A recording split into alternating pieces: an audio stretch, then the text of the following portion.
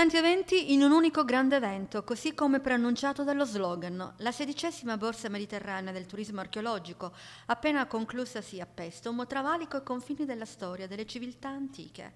Lusinghiero il bilancio delle quattro giornate, circa 10.000 visitatori, 2.500 gli studenti di 40 scuole, 250 seller e workshop, 150 espositori provenienti da 20 paesi esteri, tra cui per la prima volta dalla Cina e dal Bahrain.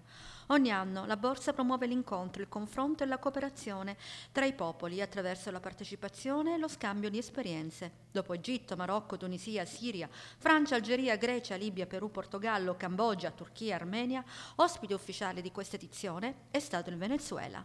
Nuovi scenari si sono aperti in prossimità del Tempio di Cerere, nel Museo Archeologico Nazionale e nella Basilica Paleocristiana, che hanno fatto da fondale alla mostra e alle sezioni speciali, tra cui lo spettacolare Archeo Virtual, con il suo bouquet di ricostruzioni tridimensionali in 3D.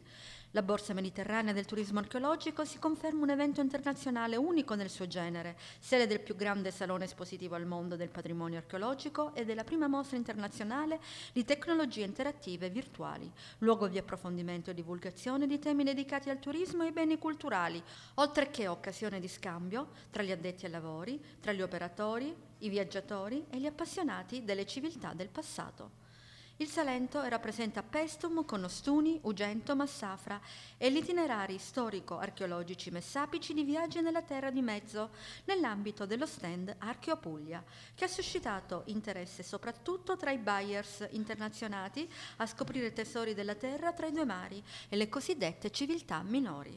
La Puglia gode di una posizione privilegiata come meta turistica a livello internazionale. Siusi Bledi e Patrizio Roversi, nelle vesti di turisti per caso, hanno citato nei loro viaggi il tacco della Puglia, che in età antica si chiamava Messapia, come identità straordinaria da riportare alla luce dalle ceneri della storia.